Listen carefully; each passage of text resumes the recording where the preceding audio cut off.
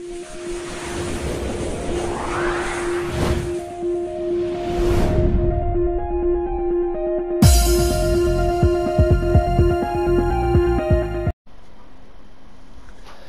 teman-teman, welcome to Ryuko Gaming. Kembali aku akan melanjutkan 5 pemain yang muda, murah, dan berbakat yang bisa kalian dapatkan di Master League PS 2020. Dan ini nama, ah, bukan nama, ini posisi terakhir teman-teman yang belum aku bahas. Jadi aku sudah membahas hampir di seluruh posisi dari mulai kiper, back tengah, back kanan, gelandang bertahan, center midfielder, gelandang serang, sayap kanan, sayap kiri, dan striker sudah semua lengkap. Bisa kalian lihat di atas ini di uh, playlist tutorial PS 2020. Dan kali ini posisi terakhir yang belum aku bahas adalah back kiri. Jadi nggak usah lama-lama lagi, kita akan langsung bahas teman-teman posisi back kiri. Dan langsung akan menuju ke nama pertama. Ini pemain yang cukup bagus menurutku, aku juga suka ini.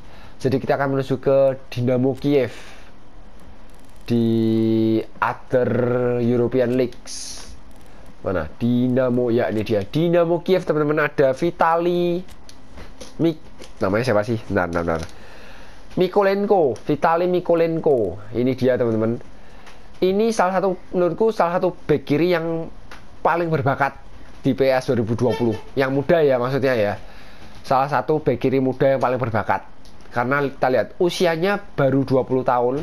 Dia asli pemain asal Ukraina. Terus dia bisa kalian mainkan juga sebagai center midfielder bisa sebagai bek kanan juga bisa sebagai sayap kiri juga harganya 6 juta euro nggak mahal juga. Gajinya satu hampir 1,4 juta euro. Dan skillnya oke skillnya kayak gini teman-teman. Jadi lumayan bagus sih menurutku. Jadi dia speednya ada jelas ya itu sesuatu yang penting dari seorang back sayap itu speed, jelas speed dan stamina. Karena kalau di sayap itu dia pasti sering lari, sering mobile, depan belakang, depan belakang. Dan dia tuh pasti butuh stamina tinggi, butuh speed juga jelas. Terus di sini bagusnya lagi, passingnya juga lumayan bagus. Kita lihat low pass sudah 74, lofted pass sudah 75. Jadi dikembangkan beberapa tahun lagi dia pasti sudah bagus passing-passingnya. Kemudian dari mulai dribbling, tight possession, ball control itu sudah lumayan bagus semuanya. Heading, kicking power, jumping itu semuanya sudah lumayan bagus. Jam apa balance. Jadi tinggal kalian kembangkan aja. Kalian kembangkan sedikit itu dia pasti sudah cepat berkembang dan dia sudah uh, mulai bisa apa ya main kompetitif lah untuk lawan-lawan yang bisa maksudnya bisa menghadapi lawan-lawan yang berat laga-laga yang krusial itu sudah bagus menurutku. Dan kita lihat lainnya defensive awarenessnya juga bagus ball winningnya juga bagus dan dia lumayan agresif juga. Jadi ini bagus banget menurutku pemain ini. Tingginya juga oke okay lah menurutku standar. Jadi makanya kenapa kalau dia bisa ditempatkan juga sebagai center midfielder? Karena tingginya masih oke okay lah masih masuk sebagai center. Karena kalau center kalau terlalu pendek aku kurang suka ya teman-teman. Contohnya dulu zaman dulu itu ada mungkin kalau kalian tahu pemain namanya Ivan Cordoba. Pemain asal Kolombia yang main di Inter Milan. Itu dia posisi dia bisa sebagai back sayap. Tapi posisi naturalnya itu sebagai center back malahan. Tapi aku kurang suka karena dia agak pendek. Jadi kan kesulitannya kalau mau duel-duel bola udara itu susah pastinya. Nah jadi kalau ini pemain ini dia main sebagai back sayap juga masuk tingginya juga gak terlalu tinggi. Tapi kalau main sebagai center back juga masih masuk karena tingginya juga masih oke okay lah. Iya jadi kayak gitu teman-teman. Nama, nama pertama Vitali Mikolenko bagus nih dan oke okay, kita akan langsung lanjut ke nama kedua. Kita akan menuju ke Nice di Liga Prancis Liga Prancis Nice mana Nice Oke, ini kita punya Stanley Nsoki. Ya, ini dia. Stanley Nsoki. Jadi ini pemain asli asal Prancis dan sama usianya masih 20 tahun. Untuk harganya 8,5 juta euro memang lebih mahal daripada Mikulenko tadi. Dan gajinya dia lumayan murah juga, hanya 800 ribu euro. Dan kemudian dia bisa kalian tempatkan sebagai back kiri dan sayap kiri. Tapi juga bisa kalian paksakan sebagai center back atau DM. Oke, terus uh, sekarang skillnya nah skillnya kayak gini teman-teman seperti biasa speed, akselerasi, stamina, oke okay semuanya. Terus physical contact juga lumayan. Dia jumping juga lumayan, bisa ada potensi untuk jumping, balance juga lumayan. Kicking power, curling. Terus passing-passing juga lumayan bagus juga, dribbling, ball control juga lumayan semua. Hampir mirip-mirip sih tadi dengan Mikolenko. Cuma dia kekurangannya di sini kalau tadi Mikolenko defensive versinya masih bagus, ball winning masih bagus. Kalau ini sedikit kurang. Tapi nggak apa-apa karena dia ya itu dia bisa untuk membantu penyerangan itu cukup bagus. Karena dia itu passing-passingnya bagus, dribblingnya juga bagus, speed, stamina, physical contact. Jadi bagus juga ya teman Stanley Soki ini bisa kalian dapatkan juga dengan harga ya emang sedikit lebih mahal sih tapi masih oke okay lah menurutku. Oke lanjut ke nama ketiga. Kita akan menuju ke Liga Brazil. Kita akan menuju ke Santos. Uh, Santos ini merupakan klub yang bisa dibilang lumayan menghasilkan pemain-pemain muda berbakat. Contoh dulu ada Ganso ada Robinho dan yang terakhir ada Neymar Junior. Mana Santos Santos Santos. Oke ini dia Santos. Kita punya Felipe siapa ya namanya? Felipe tunggu tunggu tunggu. Felipe Jonathan ini dia. Jadi ini pemain berusia 21 tahun asli asal Brazil dan posisinya bisa sebagai back kiri maupun sayap kiri juga bisa kalian paksakan sebagai center midfielder. Dan harganya murah banget teman-teman. Hanya satu setengah juta euro. Kemudian gajinya juga murah 650 ribu euro. Dan skillnya skillnya kayak gini teman-teman. Cukup bagus juga skillnya untuk harga semurah itu. Kita lihat speed akselerasi balance dan stamina. Oke semua lumayan bagus semuanya. Passing juga lumayan walaupun low passnya memang sedikit agak sedikit kurang tapi masih oke karena sudah 69 jadi ya bisa kalian tingkatkan lah. Terus kemudian tight position dribbling ball control juga cukup bagus. Dan di sini defensive awarenessnya lumayan lah walaupun wall building dan aggression memang nggak terlalu bagus tapi masih oke okay, cukup oke. Okay. dan tingginya juga ideal untuk seorang back sayap 175 cm jadi lumayan bagus sih teman-teman. Felipe Jonathan kalian bisa coba beli juga ini.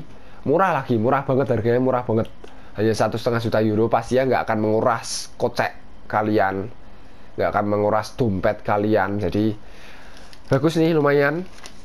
Oke lanjut ke nama keempat teman-teman. Ini ada kita akan menuju ke Asia Alkmaar di Eredivisie. Kita punya Owen nah, nah namanya agak susah teman-teman. Eredivisie mana? Oke AC Alkmaar. Agak susah namanya Owen Wits Wits Wits bacanya gimana Wits Witsdal Witsdal Witsdal ya. Owen Witsdal ya ini dia. Pemain berusia 20 tahun asli asal Belanda dan posisi naturalnya memang sebagai back kiri, tapi bisa kalian paksakan bermain sebagai sayap kiri ataupun center back. Dan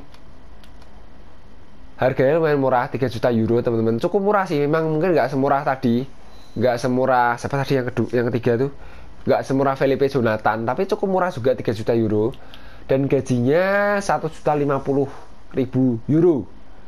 Oke, oke, kemudian skillnya Ya, speednya dia kenceng, lumayan kenceng sih untuk pemain berusia 20 tahun lumayan kenceng speednya. Terus balance dan stamina juga lumayan bagus. Kemudian ball control, dribbling, tight position juga oke, okay, bagus juga. Kemudian uh, passing, passing oke okay sih, masih oke. Okay.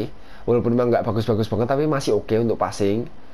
Kemudian kicking power, jumping juga lumayan lah, lumayan bagus kemudian di sini dia juga cukup bagus agresif dia agresif mainnya kemudian ball winning dan defensive awareness juga lumayan lumayan lah bisa dikembangkan dan tingginya 180 cm masih berusia 20 tahun jadi lumayan bagus sih teman-teman Owen Wijendal murah juga lumayan 3 juta euro dan skillnya juga cukup bagus jadi ini salah satu yang recommended untuk kalian beli juga Oke, sekarang menuju ke nama terakhir, teman-teman. Kita menuju ke Liga Prancis lagi, kembali ke Liga Prancis kali ini bersama Lille. Lille mana Lille? Ya, ini dia Lille. Kita punya pemain asal Kroasia uh, mana dia? Domagoj Bradaric ya ini dia. Domagoj Bradaric masih berusia 20 tahun juga. Dan dia posisinya ono naturalnya memang back kiri tapi bisa kalian paksakan sebagai sayap kiri dan sayap kanan. Terus harga harga. Harganya ya memang lebih mahal lagi sih enam setengah juta euro tapi tetap hitungannya lumayan murah juga lah. Terus untuk gajinya juga cukup murah hanya sekitar hampir 800 ribu euro. Dan kemudian skillnya. Oke skillnya kayak gini teman-teman lumayan juga. Speednya speed dan akselerasi juga lumayan bagus. Stamina juga ada. Kemudian balance juga lumayan lumayan bagus juga. Kicking power jumping juga oke okay lah lumayan. Kemudian nah passing-passing dia juga lumayan. Low pass lofted pass tight possession dribbling ball control lumayan bagus semua. Jadi tinggal kali latih sedikit tuh dia sudah hampir 75an semua. Jadi bagus juga nih pemain. Kemudian di sini ball winning dan aggression lumayan udah 70-an dan dia tingginya juga cukup ideal 178 cm jadi ini juga bagus teman-teman untuk Brother Rich bisa kalian beli juga nih dari Lille. Dan ya udah teman-teman sudah semua tutorialnya sudah semua jadi semua sudah lengkap main-mainnya jadi kalau kalian mau lihat lagi bisa cek aja di playlist di tutorial PS 2020 itu sudah lengkap semuanya playlistnya jadi sekali lagi semoga video-video Ryugu Gaming yang di tutorial pemain-main 5 pemain muda murah dan berbakat itu bisa membantu kalian betul-betul membantu kalian memberikan kalian referensi pemain-pemain yang bagus, yang masih muda, yang murah. Semoga kalian masternya bisa sukses baik dari prestasi tim maupun dari segi keuangan. Ya, soalnya tim yang sukses itu juga harus bisa mengelola keuangan yang baik juga karena jangan sampai uang kita tuh habis atau bahkan minus. Jadi kita harus bisa mengatur keuangan, membeli pemain yang tepat. Kalau bisa tuh juga jangan yang satu pemain menghabiskan dana banyak jadi paling nggak tuh bisa dibagi-bagi karena kita kan juga pasti uh, beberapa tim mungkin posisi-posisinya tuh banyak yang harus diperbaiki jadi nggak hanya satu posisi aja. Jadi itulah mengapa kita butuh pemain-pemain seperti ini butuh pemain-pemain yang muda yang murah yang berbakat. Oke yaudah gitu dulu teman-teman untuk video kali ini. Dan nanti selanjutnya aku kan masih ada beberapa tutorial lagi. Dan untuk yang lima pemain sepertinya sudah semua. Jadi yaudah Gitu dulu teman-teman, jangan lupa untuk tekan tombol subscribe, like, komen di bawah, dan share ke teman-teman kalian. Thank you for watching and see you in the next video. Bye-bye.